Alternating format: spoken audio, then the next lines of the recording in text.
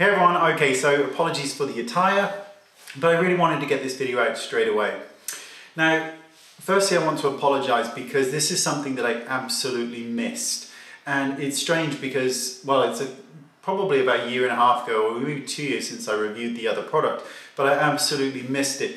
And one of my gorgeous followers, uh, Megan Melby, she left a message on the video that I just did, which is that liquid foundation by Estee Lauder, the Double Wear nude, which is phenomenal and is still truly the best foundation liquid I've ever used.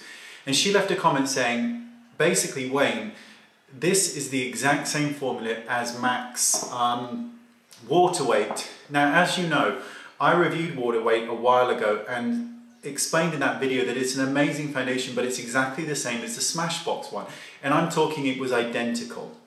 Now, I don't know what the ingredient list is in the States, but I've got the MAC Waterweight, and I've also obviously got the Holy Grail which is the double wear nude. Now I've just compared the ingredient list. Now here in the UK, again I don't know what it's like in the States, there is a slight discrepancy in ingredients here in the UK. So the Estee Lauder one is slightly different from the MAC Waterweight, but it is so slight.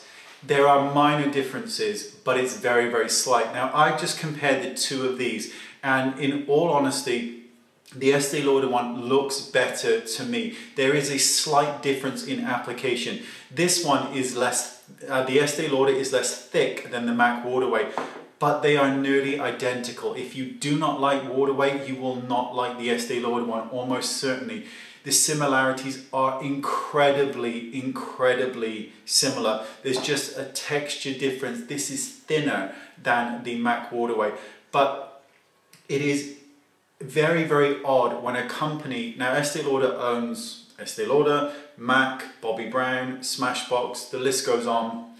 But when you roll out a product that is identical as was with the Smashbox and the MAC, and then you roll it out and add the double wear name to it. It's very, very strange. Now, if Estee Lauder are watching this and they'd love to comment because I would love to hear about this because it is interesting for me. But this is more an apology that I missed this and thank you to Megan who did pick up on this because the moment I saw it, I then went straight out, or straight in here and got them and started to compare. And again, the ingredient list is nearly identical in the UK, but not quite. There are some um, minor differences, but I would imagine, I'm not a cosmetic chemist, but I would imagine that they are minor, but who knows.